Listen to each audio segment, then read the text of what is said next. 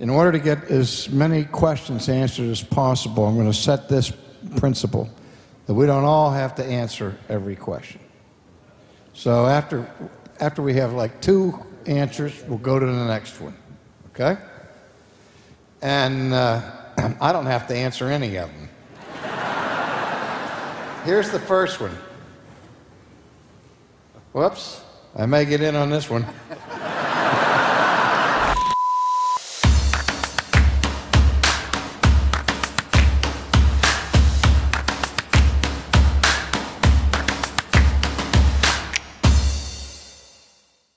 And he used to start the program by playing the marimba. He played the theme at the beginning and the end and preached in the middle. So My, my mother played the marimba for my dad. did she? Yeah. Hold two sticks in each hand, Yeah, yeah, that's right. and her arms would shake right here. So I. Now you're supposed to cover that up if it's doing that. Are tongues for today? If so, with what purpose or meaning? Our what? Tongues. Of course, our tongues are for today. How could we speak?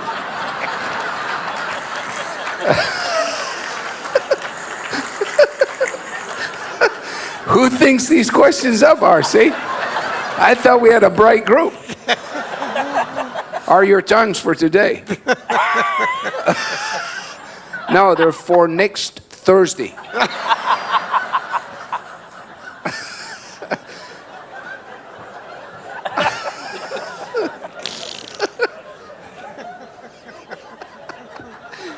You're such a bad boy. Oh, I read And I, I just take all, first I take notes from the, you know, look at the Greek text and make sure I'm dealing with the right stuff. And then I just start writing this stuff. I have a large collection of these notes, by the way. Years ago, I asked John to save that yellow. He was throwing that stuff away. Yeah, I know. I said, I know it's your retirement program, isn't it? Well, actually, actually, it, it's more, it's more of a plan for my great grandchildren. I figure they'll be able to sell them on eBay. Well, and, uh, yeah. it's, uh, Look, they're still selling Spurgeon's written notes. yeah, I know. That's exactly what I'm thinking. But anyways, I will, I will do that tomorrow when I, when I tackle 2 Corinthians 5. All right? I'll, I'll, answer, I'll, endeavor to answer, I'll endeavor to answer it then. How's that? What do you think? Okay? That's fine. We don't want to steal your thunder tonight. No, and- and no, no. I've I- already been accused of doing that in Yeah. the past. No. Well, there's another, I could answer it another way. I don't know the answer to that question, but I might know it by tomorrow. Now, I mentioned last night I like ice cream. And I eat ice cream. Do I eat ice cream because I'm forced to? Or do I eat ice cream because I want to? Or do I eat ice cream because I'm forced to because I want to? Why do you eat ice cream? Let's talk about ice cream for a while, shall we? I would like an ice cream. This is a simple man. simple pleasures, right? Since the Roman Church rejects the gospel, are Roman Catholic baptisms valid? Why or why not?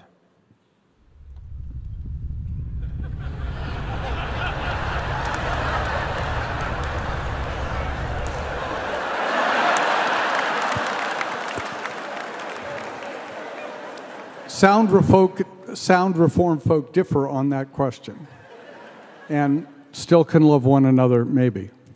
I must hold the hypothetical possibility that someone, in contradiction to the sacramental teachings of the Roman Catholic Church, actually was a closet Baptist, in which case, yes, there would be eff- efficacious baptism.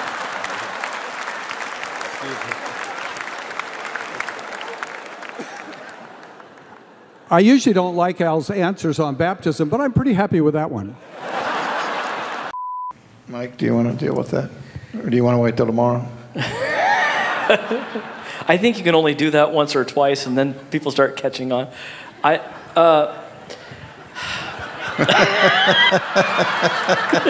we did persuade you to, uh, to get an iPhone. Yes. So you use a cell phone that actually has email capabilities. Yes, and, and I can actually read things on it. Yeah. In fact, I can't send things, but I can read Yeah. them. in fact, just to illustrate, you guys need to hear this. Just to illustrate John's technological limitations, he'll say to me, "Yeah, just fax that to my cell phone." and I'm, and I go, "You mean, you mean like email you an attachment?" He, he goes, "Huh? No, just." You can fax it to my cell phone. And I finally figured out what he meant was email him an attachment. But That's Whatever. like, but, but when I get one of those attachments, there's nothing there to read. yeah, yeah. Is that what I have to push that little box? Yeah, yeah. Oh, okay. Where did Calvin stand on arguments for God's existence? Did he use them, or did he view belief in God as properly basic?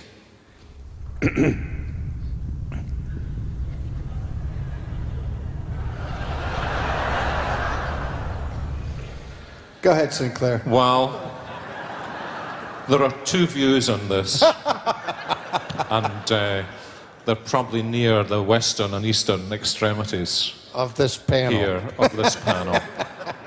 Um, but um, happily, we both agree with Calvin.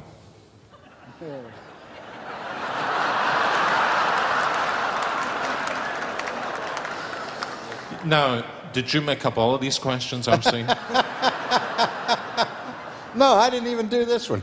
Vesta brought this one in. Is that it?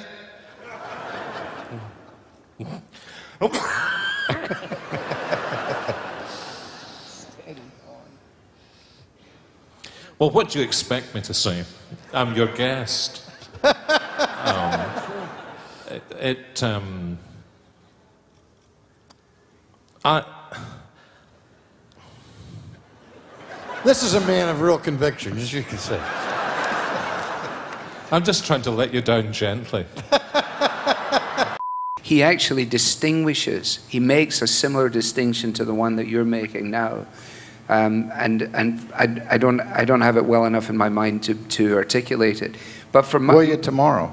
I, there's, it, there's, a good, there's a good chance that tomorrow I could cover this. Um, Would the reformers think that the modern evangelical church gives too little thought to the sacraments?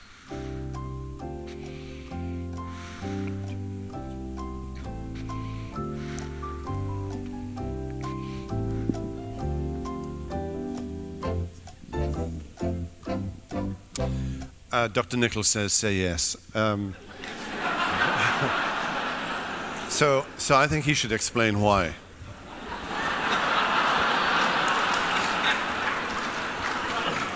When my father was, uh, was working with Evangelism Explosion, and I was five or six years old, he asked me the famous EE question.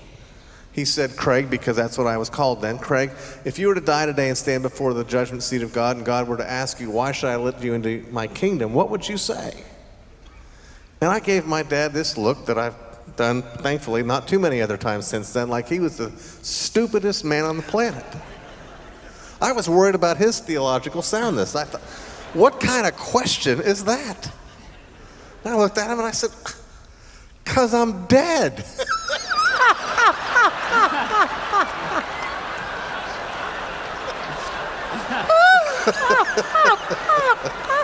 Could you please expound on what the federal vision is?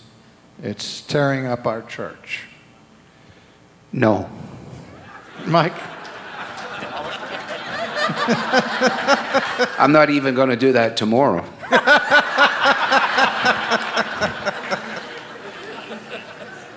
That's up to you, Mike.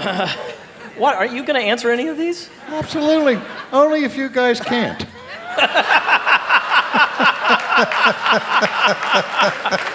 At the point of regeneration, I contribute nothing to that. Yes, what can a dead man do? Nothing. And that's not a little something. that's what my son used to do every day in junior high. I, I remember in class one day, the professor says, What can a dead man do? talking about regeneration, and a, and a voice from the back of the room just said, Stink. So. Do Christ's death and resurrection accomplish different things? Is there a distinction? Dr. Horton says yes. Dr. Begg? I don't even have my microphone. I, de- I defer to Dr. Sproul. I'm going to talk about this tomorrow.